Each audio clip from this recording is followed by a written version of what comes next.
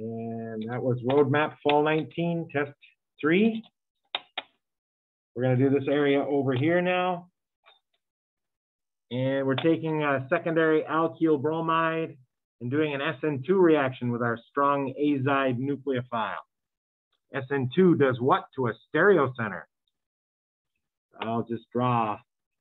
Maybe I'll hear something as I'm drawing. What's going to happen to the stereocenter? Hmm. Well, the H is pushed out here, and the azide is right here. It flips the stereo center. That's what I want. R or S, circle which? What? Okay. Is that R or S? I don't know. We don't have to answer it yet. We have to do it down here. Um, N3 is intact. Uh, double bond here became a ketone. What?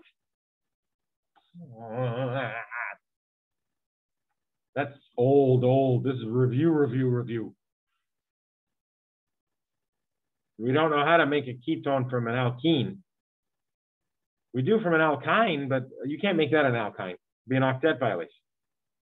How about alcohol? Don't you know how to make alcohols into ketones real easy? Yeah, oxidize, oxidize when you make the alcohol, after you make the alcohol. Uh, how do you get an anti-Markovnikov alcohol? I need the O on the less substituted carbon is what I'm saying. Oh, which one? Oh, that'll put the OH, he said HGOAC. That'll put the OH on the more substitute carbon, but I need it on the less substitute carbon. Yeah, we forgot this one. It's old. That's why, you know, there's extra points available here. I don't expect everybody to memorize everything. BH3, uh, KOH,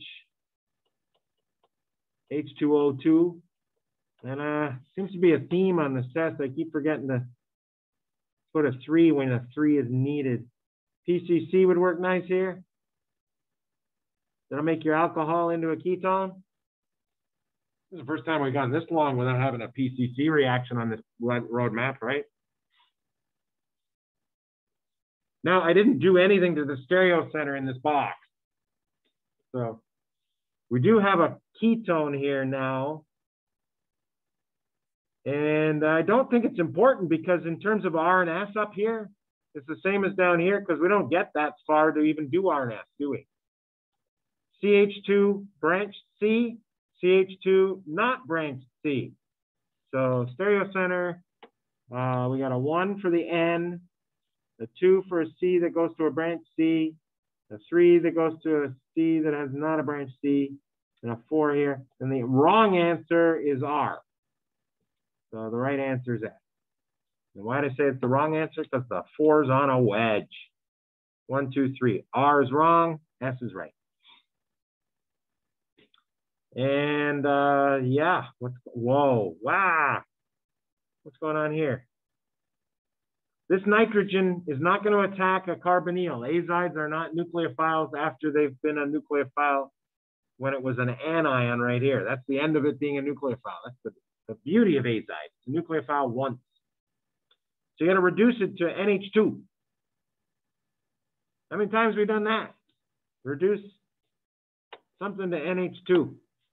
Lot. Uh, one, reduce it to NH2. H2PT. And then if you have a DST in there, it'll make an imine. Imine with a ketone. So I'm going to erase this very soon. Currently, you're right here. Currently, you're there, and you need it to be here. Why not just say that? The first reduction makes the NH2. DST helps the condensation. And then you still got H2PT floating around. H2PT reduces the imine that I had drawn temporarily and makes it into the amine. So you don't need a step one, step two. Just use excess.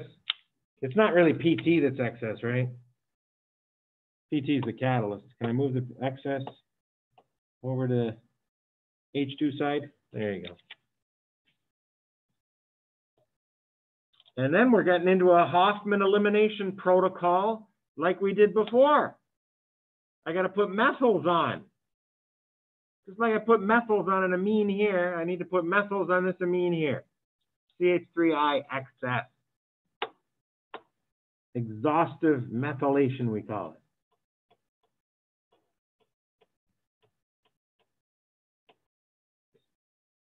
it. And then you got to change the I minus. Over here, you made a BR minus. Oh, geez. I just realized that. That should have been a BR, right? I just, from habit, I always use methyl iodide. There's a BR minus there. It's really an ion spectator. Sorry, I wouldn't have taken a point off myself. Uh, here I get I minus, but it needs to be OH minus. Same story as this chemical here. Ag2O uh, aqueous, don't put the heat because I'm doing the heat separate here. Ag2O aqueous. There you go. And the heat, it's all about the Greek. Once you add the heat, find the beta H's, everybody. Beta H is in blue. Beta H there. Beta H, alpha beta here. Alpha beta here.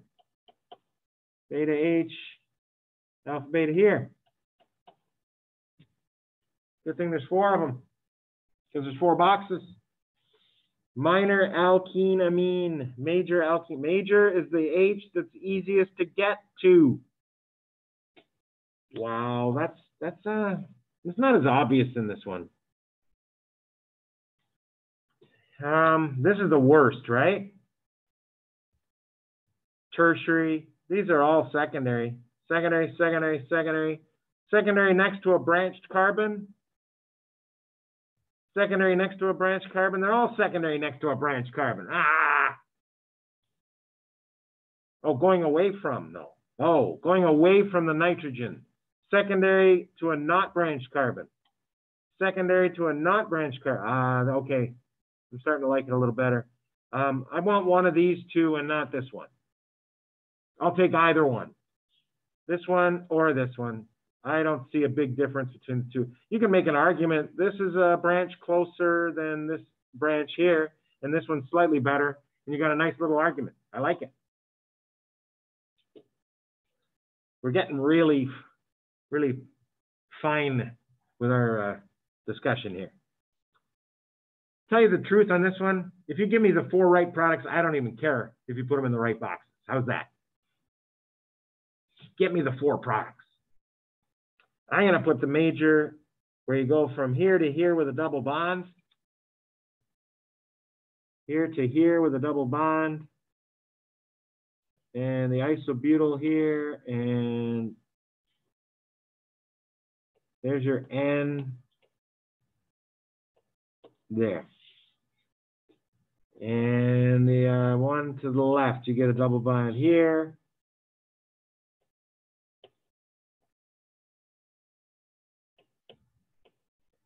You can't get rid of the nitrogen, it's attached twice, so.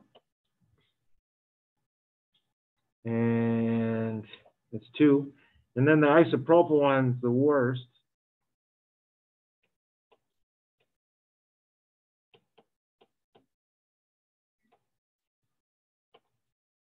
And I didn't do this one up here.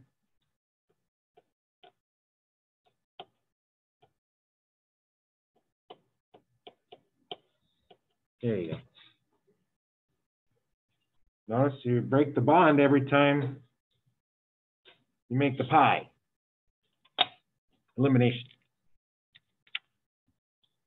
Okay? And that was good. Well, look at that. Finished 959. See you guys Monday. Bright and early.